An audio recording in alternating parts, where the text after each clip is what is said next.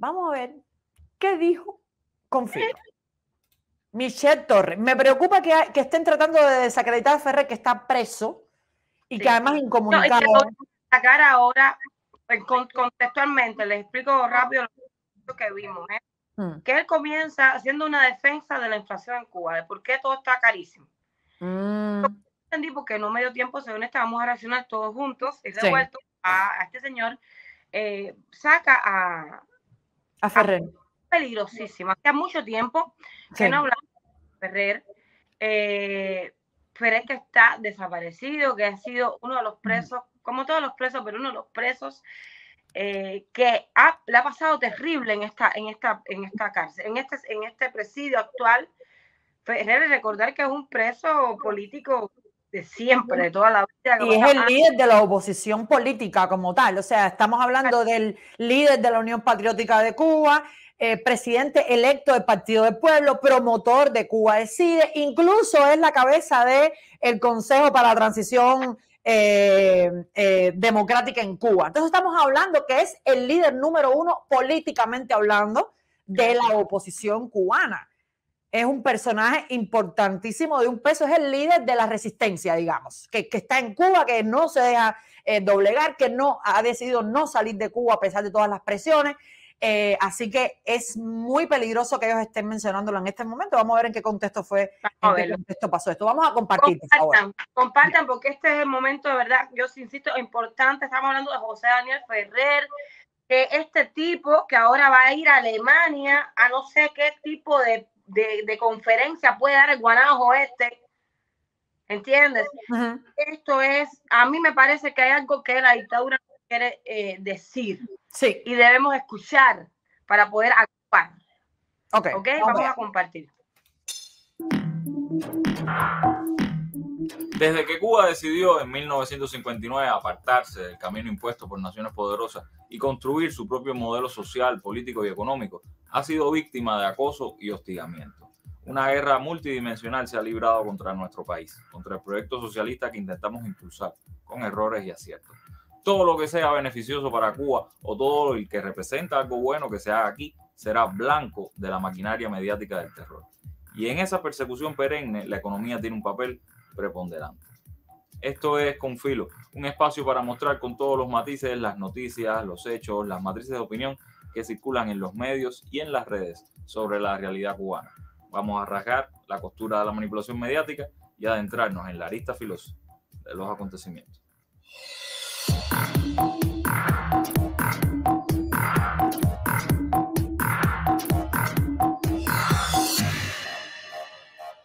Hace poco circulaba en las redes la inclusión de Cuba entre los destinos más cool para viajeros jóvenes en 2023. Incluso medios abiertamente antagónicos al proceso cubano, como El País, han publicado que venir a Cuba no está mal. Tenemos un sistema político y económico más que criticable en sus palabras, pero somos una isla fascinante, llena de lugares increíbles y gente amable. Graso error.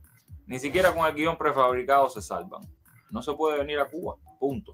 O al menos eso es lo que buscan nuestros odiadores. Así han llegado a publicar razones para no venir a Cuba, en forma de decálogo.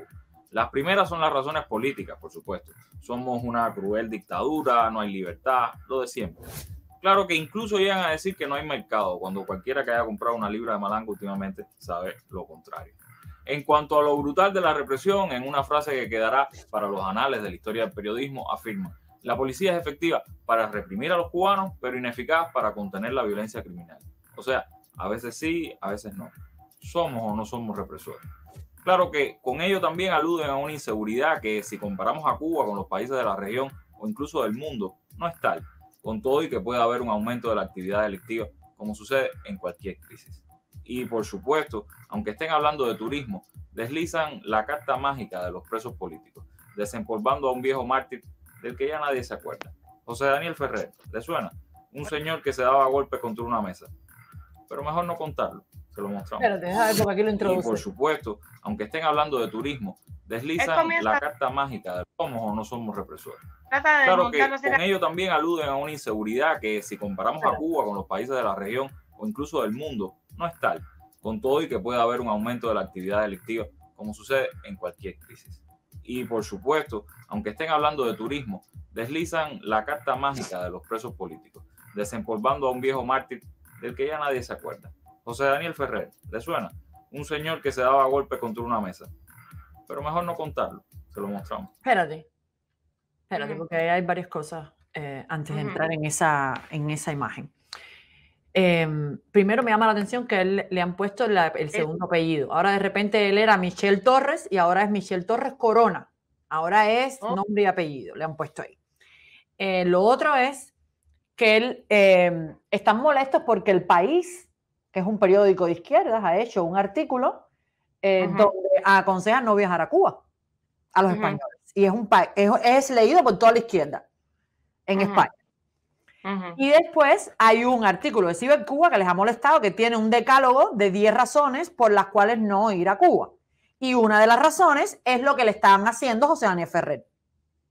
exacto. Ay, parece que lo sacan a colación durante, dentro del artículo. Entonces él está diciendo, quiero quieren desacreditar a Ferrer para que no sea una razón por la cual no viajar a Cuba la injusticia que están cometiendo con Ferrer. Y él dice que no es tal, no es tal injusticia. Me llama la atención que usa la palabra mártir yo quiero decirle que mártir son los muertos.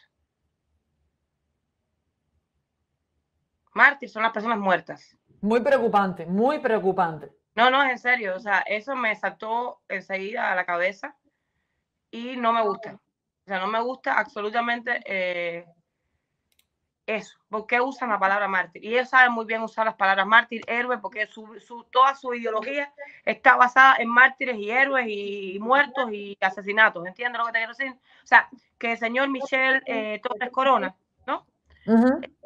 Sabe muy bien la diferencia entre mártir y héroe, ¿vale? Y de todas formas, eh, ahí le está dando la categoría de héroe.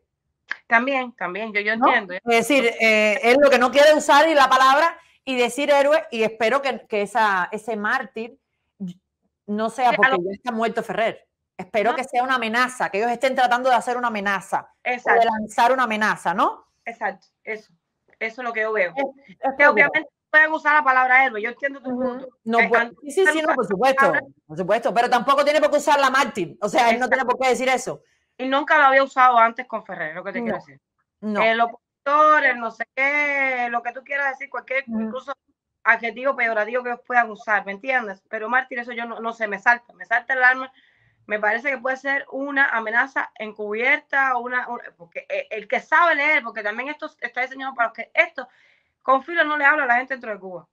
Con filo nos habla a nosotros de alguna manera, siempre. Eh, eh Michelle dialoga con nosotros, eh, la palabra debate. trata de meternos cosas en la cabeza. Fíjate que él ahora va a poner las imágenes de las que nadie se acuerda. Estas son realmente de las que nadie se acuerda. Por eso paré ahí. Sí, sí, sí, sí. Eso al final lo que quiero es que uno ponga las imágenes. ¿Sabes una cosa? No las voy a poner. no las voy a poner, querido. Voy a saltar. Voy a saltar para el momento en que pones la foto de Ferrer. Aquí. Aquí. Y voy a poner esa foto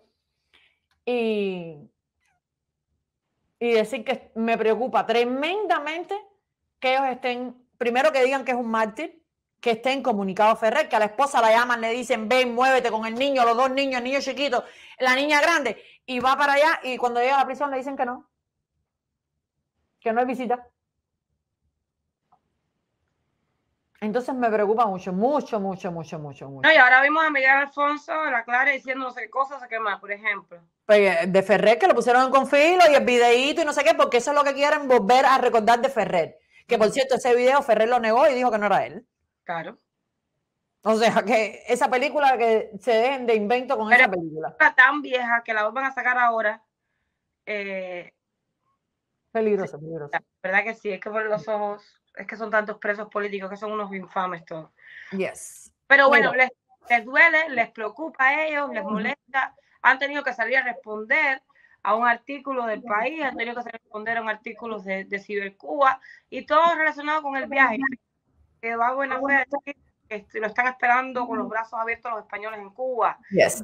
Eh, hemos visto los de propaganda, eh, tú no me tienes abierto el chat de WhatsApp eh, se ve. Porque tengo el, estoy buscando el, lo de Alemania. Espera un segundo, lo tengo aquí. Aquí lo tengo, aquí lo tengo, ya, ya me acordé. Lo tengo aquí. Ah, mira ahí. Guerra mediática contra Cuba. Conferencia y coloquio con Michelle Torres, miércoles 14 de junio a las 7 y 30 en Villa Ichón, Goethe-Platz 4, 2823 en Bremen. ¿Ok? Qué oportunidad tan sabrosa. Muy rica oportunidad, ¿eh? Vamos a ver porque este muchacho eh, levanta pasiones. hay que ser guapo. Hay que reconocerle o que tiene valentía o que lo han mandado a recoger sus kilitos también obligatoriamente, como hicieron a Humberto, que lo pusieron en la, en la boca del león. Sí mismo, porque este muchacho es, sí, sí, sí, sin duda, comparable con Humberto en lo que desata con la gente, ¿no? en la gana de darle un estrujón, que no, que, con esa cara que no vaya, imposible no el deseo. Gracias, Billetes, Billetowski. Ay, Billetowski. Ay, Billetowski. Y tú también. Ay, qué gracioso. Billetowski, me encanta tu, tu Chatowski, ¿ok? Tu super Chatowski. Ay. Me encanta. Sí se va a abordar el avispero. Eh, tenemos que hacer campaña por Ferrer sin lugar a dudas y eh, esto nos da el pretexto perfecto para ah, pues acrecentar eh, nuestros posts en las redes sociales, sacar fotos de Ferrer, pedir fe de vida de Ferrer, etcétera. Dice Bárbara, entonces tenemos que arreciar la campaña No Travel to Cuba, que es la que le duele en los bolsillos. Estoy de acuerdo. Estoy de acuerdo. Y la de visualizar a los presos políticos. Porque eso es una de las razones fundamentales por las, las cuales las personas que tengan, no importa si eres de derecha o de izquierda, el que apoya de corazón y dice, ay, es que Cuba es maravilloso. No, Cuba no es maravilloso. Mira aquí lo que está pasando. Por eso les duele tanto y por eso tratan de desacreditar a Ferrer. Para que uno no haga campaña por él.